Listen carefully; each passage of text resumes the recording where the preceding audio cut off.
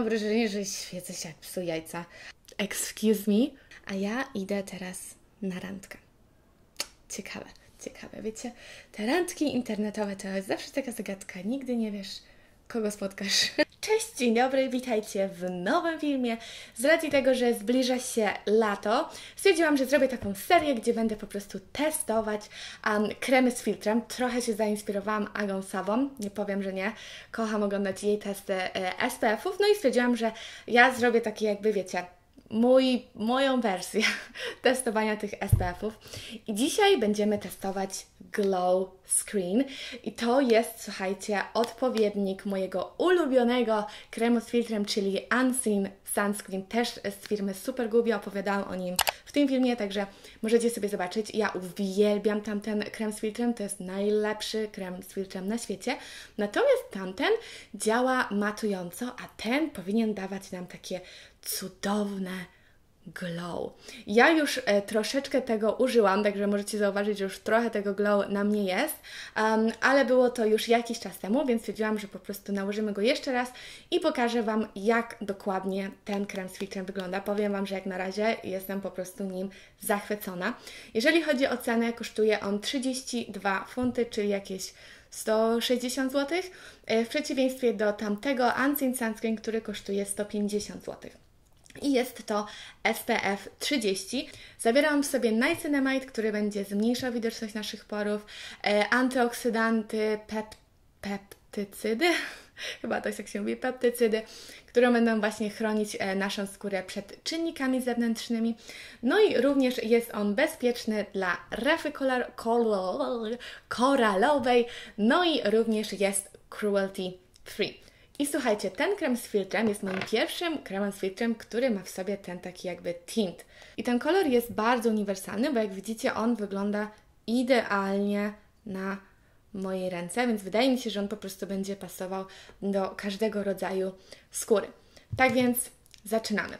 Nakładam go na długość moich palców. To jest mniej więcej tyle, ile e, powinniśmy nałożyć. No i jedziemy. Z racji tego, że jest to oczywiście 30, no to trzeba ją właśnie nakładać co jakiś czas, dlatego też ja go znowu nakładam. Konsystencja jest bardzo leciutka, naprawdę praktycznie jej nie czuć.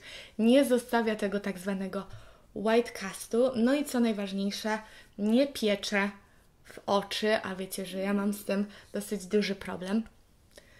Szybciuśko się wchłania, Także super. No i zobaczcie, ja to nałożyłam i jestem już gotowa. Nie muszę czekać, wiecie, nie muszę się stresować, że y, ktoś w moim domu mnie zobaczy z białą twarzą. No i obczajcie ten glow. Excuse me.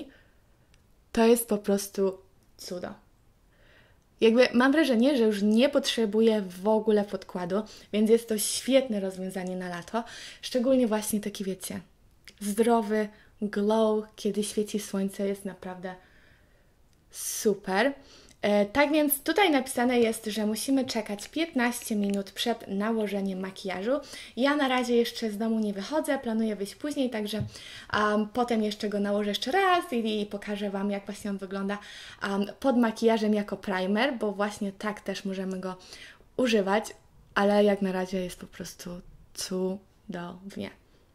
Nawet nie wiem, czy nie wolę teraz tego od... Yy, tamtego antyinstanckim. Wydaje mi się, że po prostu to zależy, czy, czy chce się świecić, czy chce po prostu mieć matową twarz. To też na pewno zależy od Waszych preferencji, ale jest, jest cudowny. Mam wrażenie, że moja skóra wygląda tak zdrowo, lśniąco. Ja wiem, że jest to dosyć duży wydatek, no bo 160 zł za coś takiego to jest naprawdę dużo.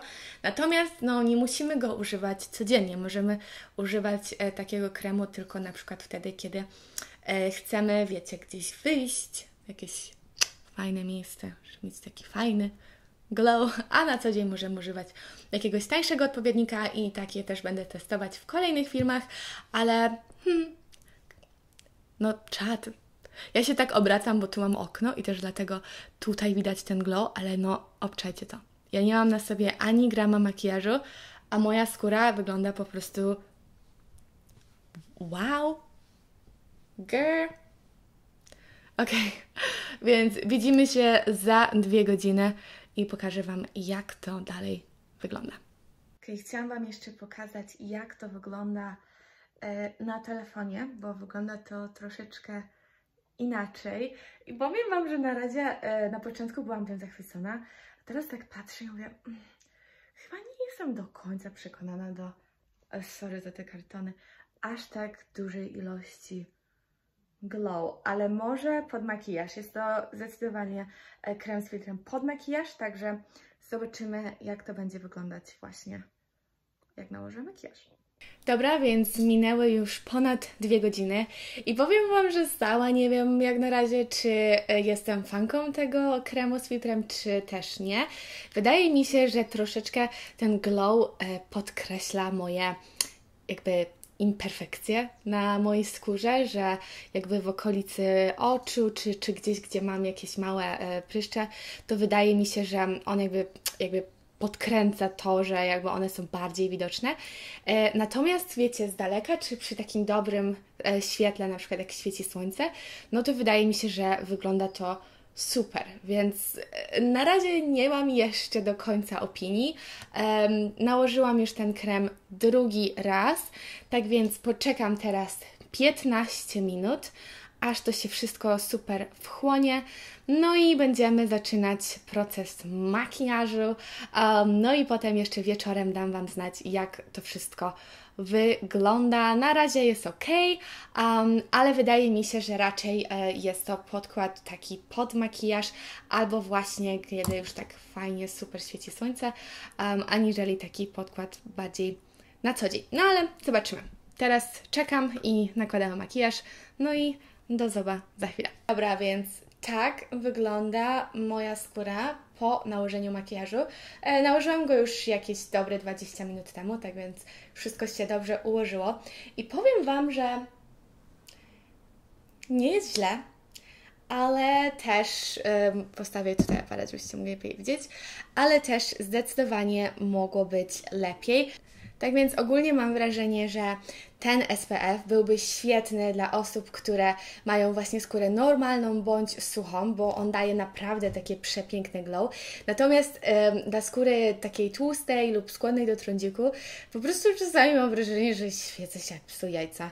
Ale z drugiej strony wydaje mi się, że wygląda to w sumie fajnie i tak dosyć zdrowo, więc e, raczej nie jest to SPF, który będę używać na co dzień, bo na co dzień zdecydowanie wolę coś bardziej matującego, um, ale w momencie, kiedy chcę się poczuć, wiecie, taka ekstra, o Jezus, włosy, taka ekstra glow i tak dalej, no to w sumie jest fajne.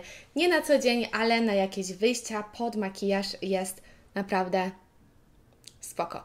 Nie mam w ogóle na sobie żadnego y, rozświetlacza, nic z tych rzeczy, żadnego jakiegoś pudru z drobinkami, nic, a jednak ta skóra ma taki fajny, zdrowy glow. Tak więc ogólnie powiedziałabym, że daję temu SPF-owi jakieś takie 7 na 10, e, ale to tylko dlatego, że właśnie ja mam skórę raczej taką e, tłustą, e, ze skłonnościami właśnie do wyprysków, przez co mam wrażenie, że wiecie, to glow trochę wzmacnia ten efekt. Natomiast wydaje mi się, że jak macie właśnie skórę normalną bądź suchą, no to pewnie będzie to najlepszy SPF ever. No i z racji tego, że troszeczkę no dużo kosztuje, no to właśnie 7 na 10, ale ogólnie widzicie, nie jest źle. Tak więc dziękuję Wam bardzo za oglądanie. Dajcie mi znać, e, czy taka seria Wam się podobała. No i też jakie SPF-y chcielibyście, żebym wypróbowała kolejne. Pamiętajcie, żeby obczaić mój Instagram, TikTok i tak dalej. No i widzimy się w kolejnym filmie. Pa! A ja idę teraz na randkę. Ciekawe, ciekawe. Wiecie, te randki internetowe to jest zawsze taka zagadka. Nigdy nie wiesz, kogo spotkasz. pa!